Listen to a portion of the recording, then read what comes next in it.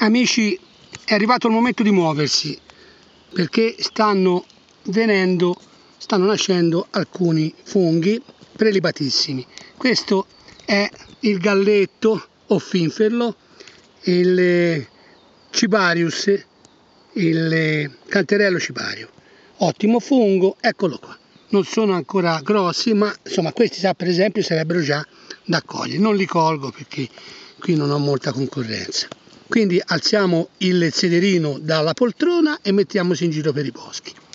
E buona fortuna.